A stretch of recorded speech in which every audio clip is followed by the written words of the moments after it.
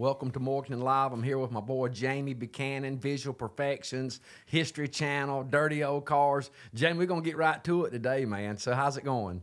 Super. It's nice to be inside in the air instead of working outside for a little while, so I'll take the break. Yeah, I know, man. You're always working and down there cleaning those cars up, and man, work's hard. People don't realize that. Yes, it is, and it's constant. It's constant. It's, It's nonstop. constant. Mm. And that's been that's kind of been your forte anyway. Is you're you're always there working hard, and you know when people work hard, you can you know the Bible says that there's a profit in working a little. Mm-hmm. you know, But he also says if you don't work, you don't eat. Exactly. So- We're going to talk about some subjects like that today, and uh, you know, different things, the way people perceive perceive things, and religion, and church, and you know, translations of the Bible, and stuff like that, and Mm-hmm. our youth, and, and and and how things have changed. We were talking earlier about TV and all the different apps and YouTube and all those different things. That way things come at us now, it's a lot different, in, you know, in our day. Yeah, we had a we had a telephone on the wall.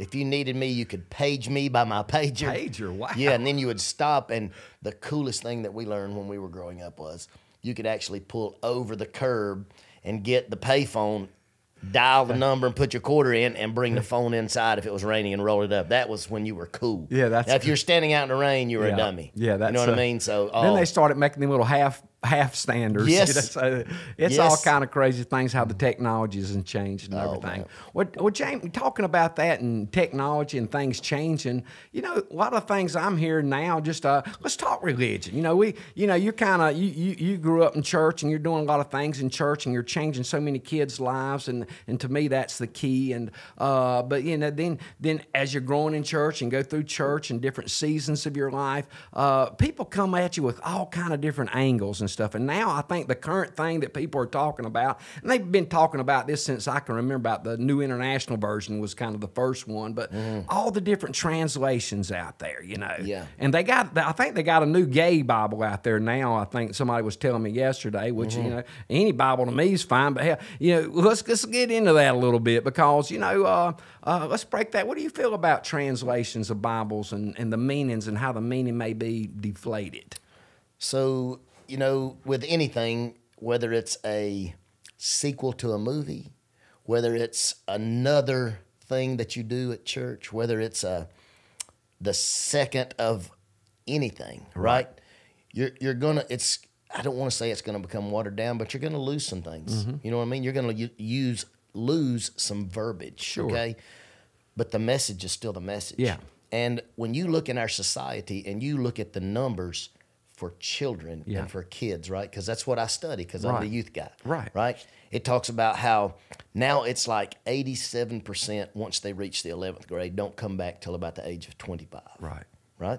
And now you have all of these people that are that have been there, done that in their generation, and I call them the older generation, right? Mm-hmm. Right. And you know the Talking about Bible talks about gray hair, gray hair and wisdom, right? I ain't Mike, got I've- none, man. It's all clean. Listen, baby. I, have not reached that yet. There's no wisdom. There's a little gray whiskers, but there's no gray hair. Right. But so, but with that, when you are talking with the older generations, and they are they are so solid and they're so staunch Yeah. on this one thing. Well, I think that's where you miss the boat. Right. Because if you look at Jesus in the times where he lived, Right. it wasn't a continuous act. It was Right. always love, grace, mercy. But he went to everyone Yeah. and he saw everything. Right. And we get to wanting everybody to kind of look like us and act like us and be toy soldiers. Yeah. And look, Jesus is the same. Yeah. But he looks different to everybody. Yeah. In every culture, in every city. And you go, they worship differently, but they still worship Jesus. So if I could reach your kid that was lost. Right. And let's say maybe he was, you know, drugs are prevalent at the moment. So let's just say he's into drugs and he's into heavy drugs.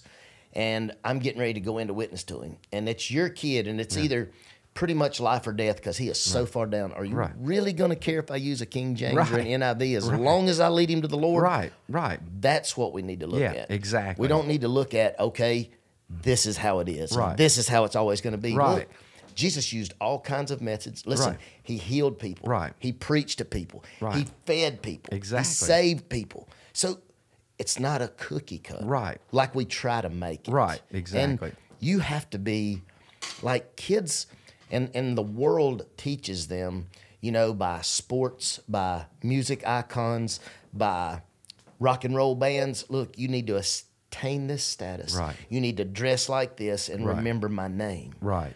Kids, when they're growing up in the church, they see the preacher as, listen, that man there is he is ordained by God, and I know I will probably not be called to do that. Right. But when everybody looks like that, how do the kids think that they can ever to get Right. from where they've come from, whether that's a broken home, whether Right. that's looking at things they shouldn't be looking at while they're in their bedroom, if it's Right. doing things other kids are wanting them to do or saying what they're saying, they don't think that they are worthy enough to get to that point. So if you're not relatable, meaning they can't understand you, Mm-hmm. they can't dress like you dress or look like you look, they're going to quit immediately, Right. especially in this generation. Oh, yeah, If it's not easy, they're not doing it. Yeah, That's no offense. That's just how it works. That's the way it works. Well, you're exactly right. I, you know, I, I know people that you know believe that Jesus carried around King James version. I mean, that's where you know that's where he got all his references from. You know, but you know, I, I've never really. I, I believe in the, the purity of the word, but you know it says in Proverbs. I can't think exactly where it might be in Ecclesiastes. You know, but it talks about the truth always bears witness with the truth. You know, it says that, and Jesus talks about those things and the spirit and that kind of thing. But you know, you know when there's some something's not right. And how many ways can you translate God loves you? You know, that's my whole breakdown. I'm all about the simplicity now. I know as Christians, man, we got Christianese. We talk all kind of language, second coming, advent, all this kind of crazy stuff. And like you're saying, when you're there ministering to somebody and somebody's in a in a desperate state, uh, you know, you're not having to do this or do that or do that kind of thing. You're there to rescue them, to be a, a minister of reconciliation. So when you get into that, that's uh, you know that that's the simplicity of that is God. That's the word made alive right there. Loving God with all your heart and your neighbors yourself, or the person that's dejected or broke down. And and thank God for the churches and the fabric of that and everything you're doing. Like you said, uh, you know we need those things. But that being said, all the translations uh, can water things down. Uh, but the truth still, the cross preach Christ and Him crucified. To me, you know, if that doesn't change you, uh, you know, you know, you're on your own in that regard. You know, a, that's why they call it a personal decision. a personal decision. Personal decision. Yeah. It's not for me to tell you how or what. It's to tell you this is how you have a relationship. Right. Well, you know, God's always reaching, Jamie. You know, it's he's he's always reaching to people, and uh, you know I, that's always what's on my heart. I know you're like that. You're always serving people and those kind of things, and uh, we, we get so political, we get so diverse. You know, race and all those things in church. You know, the body's diverse. Uh, you know, we try to make those things. I know in the charismatic world, in the non-denominational denomination, you know, uh, you know, we we try to put things together, so to speak, and you know, we try to make people fit together. And there's nothing wrong with black churches having black. They, they worship different. You know, you, you have all people can worship together. That's the way it should be. I feel like that. But there's nothing wrong. People got their traditions and the way they do it. And there's nothing wrong with that. It's like business. Everybody runs their business different. You know, if you want to go eat at this place, go eat at that place. It's Mexican, uh, soul food, or whatever. Enjoy everybody. But you know, a lot of times we feel like we got to make people fit together instead of just to let them be their who they are and the fabric of who they are, and, and let them be who they are and us and enjoy each other. That's right. That's right. When you allow people to be themselves, and listen, you you're not going out of your way. You're just loving them first because that's what Right. Christ did for us. People resonate with that, and they want to know why. Mm-hmm. Instead of you telling them why and you Right. beating them over the head with the King James and telling them why, if you just show them Right. no matter what, unconditionally, then you move on. Now you've planted the seed. Right. Now they're the ground that it lands on, and maybe they're just not. Maybe their ground's not ready yet. Maybe it's just laying on the top. Maybe it's penetrated the soil a mm. little bit, but you just keep going back and you're trying to push that seed a little further. Now look, God's going to water it. God's going to harvest it. Our job is to sow it. That's right. So I, I, some people may want to use a, a hand cranker for the seed. They may want to use a blower. They might want to use Hand toss. Hand toss. That- that's different ways. Right. That's different versions. Yeah. But we're still getting the same message. Yeah, exactly. The message doesn't change. No. Yeah, that that's for me. You know, that's that's why, uh, you know, I love the theology. I love the vastness of God. The you know, and the people that study and the all you know the analytical part. You know, that's you know that's great. The scientific part. All the people that that God's raised up that do the things they do. It's amazing. But you know, I'm a simpleton, Jamie. you know, I'm a simple person, and you know, uh, you know, things to me don't have to be as complicated as they are.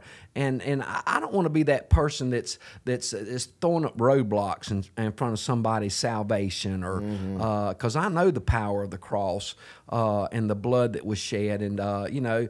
I remember Lester Sumrall. You know, he loved him or hate him. Some some people hate him. He was he was very dogmatic, but at the same time, he didn't tolerate you know people you know you know watering down the word. You know, and uh, you know there's different people got different ways of bringing the word about. But I always liked uh, you know that there's calling things out the way they are. You know, it's, it's, this is the way it is, and people they get offended by that. And it's and, and you know it's easy for me to get offended. I've been offended by people that's you know said things about me or you know and they don't even know you. Yeah. Uh, you know people get preconceived ideas about Jamie Buchanan. You Mm-hmm. know, well you know the real story on Jamie. Well, no, I you know I, I don't want to hear the real story on Yeah. Jamie. You Yeah. know, I, I know your Jamie. version. That's yeah, your it's version. version. You It's your version. and uh, we all got to give an account for our Mm-hmm. lives and our versions and stuff like that. But in the meantime, the simplicity and, and, and, and reaching people with the simple things, it's hard to miss that translation to me. Yeah, absolutely. And talking about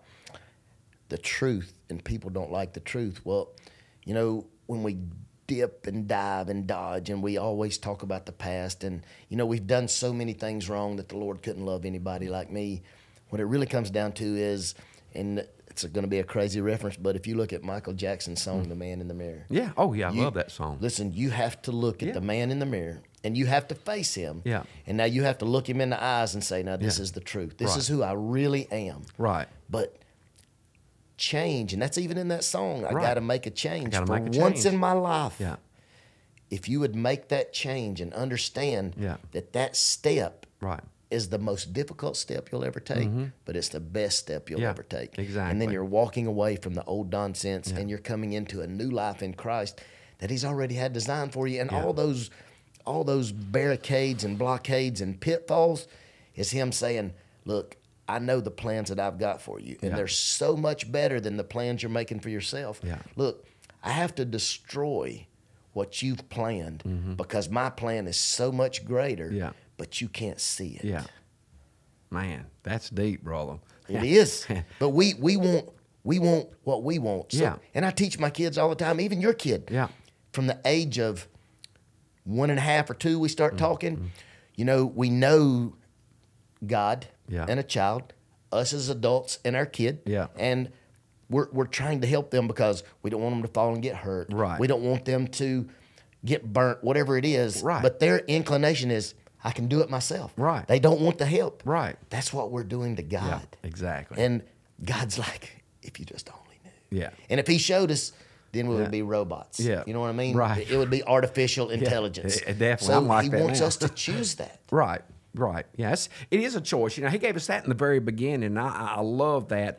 And you know, that's the one thing I'm saying about everything is you got a choice. My choice right now is really just to give to all those around me, all here locally, and all the things that we're doing here locally. And you're a big part of that. You're part of the fabric of our community. And I think when people kind of lose the national narratives and all the things that's going on, and they kind of concentrate on our family, our children, our community. You know, that that's the narrative I'm hearing. He, even here in North Carolina, that's what they're saying. Uh, you know, that let's get back to the local community. Let's get back to the community colleges. Let's get back to the arts and the and the the trades and and, and, and, and just our family. Yeah. This is where our family lives, and uh, you know, and we want our children to have the best. We want to have the best environment for our children, and that's what I'm wanting to do. I'm wanting to see all the arts and the music and and our lives and our children laughing and, and people's lives being intertwined and and you know. But in the meantime, we fight.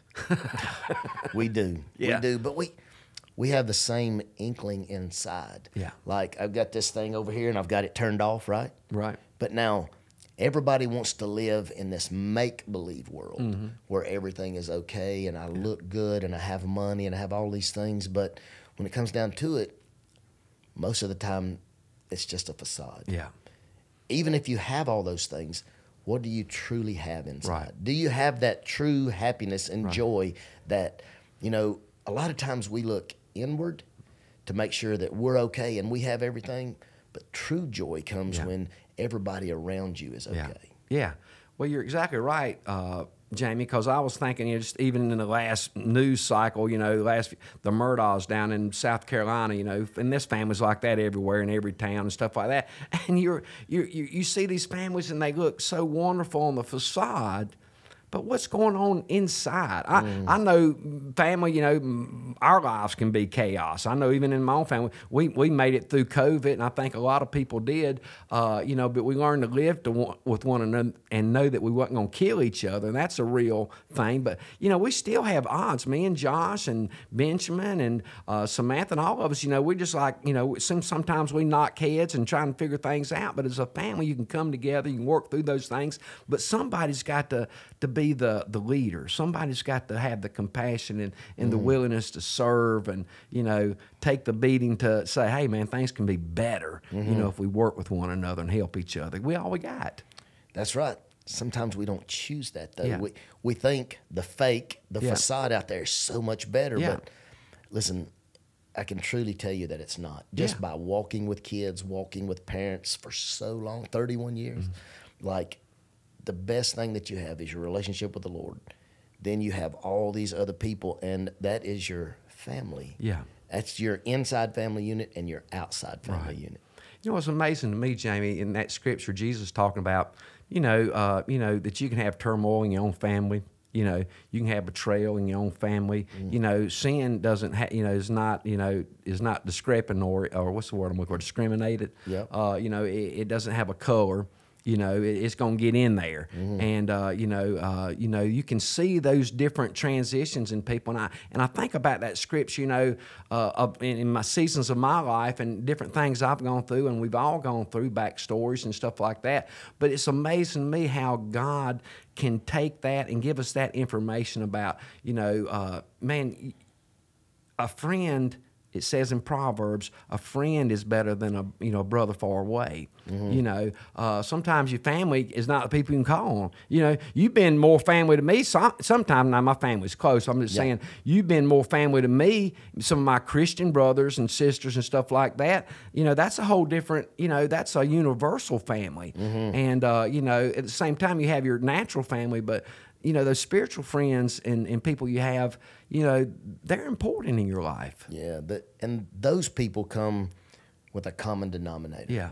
It's Jesus yeah and the love that he gave for us first. So that's why we love first with our friends and worry about whatever's going on later. But if you ever notice, Jesus never came at anyone. Mm-hmm. He always came to them in a story form. Mm-hmm. And that was the disciples. And that was the same with the religious establishment. Mm-hmm. And those that are like minded with the same heart know Right. who the shepherd is. And if they don't, then they're not going to follow. Right. Because he says, My sheep know my voice hear his voice and you you know those people so we we love those people that are kind of unlovable and we think that we shouldn't be loving them but those are the ones we should be loving and our family they know that they're already loved Right. Well, Jamie, let's change gears again. Uh, you know, what can we do for our kids? What do you see that the kids need here? Uh, you know, you, you're, you're traveling all over the United States and the world and, and, and with your business and things that you've done and people you've run into, and, and you've seen different communities. And uh, what is something you see uh, that, you know, could really uh, happen here that you see at some other places that, you know, Uh, because you're a kid person, you, you you know the water parks and the you know all those kind of. I always think water park because I'm so hot right now. You know we got to have a water park. We got the Catawba River, but you know come that's down to the close enough. shop we'll wet you with the hose I man. know. Well, that's that's true. Clean me up. But you know what? What's some amenities you, you see that could be really cool? You know, for the community, for kids, the next gen. What what are they looking to do? this day and time man they just they don't even care about things or stuff they need a place to hang out but they need it to be a controlled environment Right. okay um, and they need they they really need your presence Yeah. they say they don't but as long as you're present Yeah. you don't have to be present all the Right, time right, right. but you know but we get so caught up in trying to become better, Yeah. Mm-hmm. trying to have more. And the funny thing is, after we get those things in a couple of months, they're not shiny and pretty and new anymore. Yeah. So we really don't want those. Right. So do we really know what we really want? Exactly. Look, it. I can tell you with kids, it's presence, meaning in their life. Yeah. Don't don't be a, a dad that created them and never be their father. Right. Right. And love no matter what. Now look, Right. we have to learn those things because man, when you get in them teenage years, Yeah. they're they're trying to make their independence on what they've been taught, but also what they see. Yeah. And then unconditional love no matter what. Mm-hmm. But then you have to have the integrity of the family Right. meaning dad's not out running around acting crazy and giving no time to the mom into the house. It's not just you are a businessman or you have a job. Right. Listen, you have a job that you've been called by God and you've been fortunate enough to have a present of the gift of life of a wife because he says you better consider that Right. as fine rubies and pearls when you Yeah. find a good, virtuous woman. Yeah, man, I've got the best, man. Yeah, man, I do too. Yeah. I mean, I have. I honestly have Wonder Woman. Yeah. I promise you, I do, and I tell everybody that all the time. Yeah. And then God has given you the gift of life in your kids. Yeah. So you need to be a father to them as He's been a father to you. Mm-hmm. The dynamics of the world will change very, very quickly. You know, you see all these people on TV talking about that you can five times your incomes, 10 times your incomes, 10 times your money. What about if we did that as a Christian Right. family? Right. and we took two families and we just interjected our life Yeah, into them. exactly. And you think in 10 years, Yeah. we've 10 times the population, the pendulum's going to swing Oh yeah. in the favor of the Lord. Yeah. Instead of trying to reach for all these things that may work, Right. God's word's been proven time and time Yeah. again. It don't fail. It don't. Love never fails. It doesn't. You know, oh, that's, no, it does that's the one thing I'm, you know, that love never fails, man. I take the blows, brother.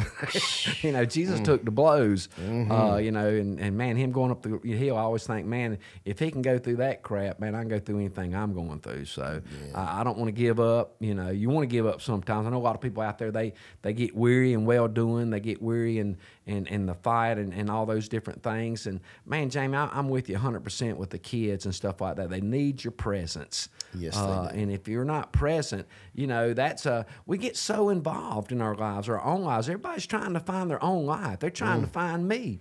Who. Yep. am I? You know, then you got a kid running around, you know, well, you know, then you start, you know, people don't realize their lives are so complicated and, and they're doing things and, and things are happening. They're reaping what they sow and they get, next thing you know, they're in the hole and, you know, the kids or, you know, are they being presents for them? And that's where God comes in. That's the only hope we have, you know, is, uh, man, you know, no matter what you're going through, no matter what's happening in your life, no matter the craziness, the chaos, you know, God will give you hope. He will help you. Uh, and because I know a lot of families now, every, it seems like every person I talk to, every family is concerned about their children. Pray for my children. Watch over my children. You know, our children, you know, that's how we understand God's relationship with us is, you know, what we would do for our kids. And, uh, you know, we've got to keep building on that. We got to keep being present for them. And we need people like you in the community and, and people around the world that's, that's rising up and fathers rising up. You know, I've, I've, uh, you know, raised a lot of different children. You know, I've, I've been married three times. Uh, you know, I left one. I've talked about this a lot, and uh, you know, one left me, and you know, now I told Samantha, to hope there's no more leaving. you know, but through all the kids and the children and the different dynamics through all those relationships, uh, you know, I always consider people that's been married a long time the gold standard, and I, and I celebrate them for that. Uh, but then the rest of us, like me, you know, we got to deal with all the damn chaos and the, that we've created, and, and, and not listening to God and being hard hearted, like Christ says. You know, that's the only. There's no excuse for anything other than we got hard hearts. Uh, but God can repair children, and He can help us. And all those children now, they they've come back into my life, and they're working, and, and just because of trying to keep God in the center, even through all that craziness. We, we think that we're the, you know, nobody's sinners in church. We think that, that people that look pretty and are, you know, lives are going on. But the Bible, you know, David and all of them, man, those, those guys, you know, I'm encouraged by how, how wretched they were. you know, because, you know, I can be pretty wretched, uh, but, you know, God still used them. And God uses people like you and me and, and all of us to, to pull everybody together and help each other. Yeah, absolutely. Absolutely, man. And if you look, Jesus didn't pick any perfect people to write about in the Bible. Right. That way we could relate Yeah. in some form or fashion Yeah. to someone because it takes all kinds to make the world go round. It did even back then. Yeah. And it changes us. That's the thing that Christ changes your heart. Yeah. You're never the same. You know, when I received Christ as my Lord and Savior at 13, man, it was very emotional for me.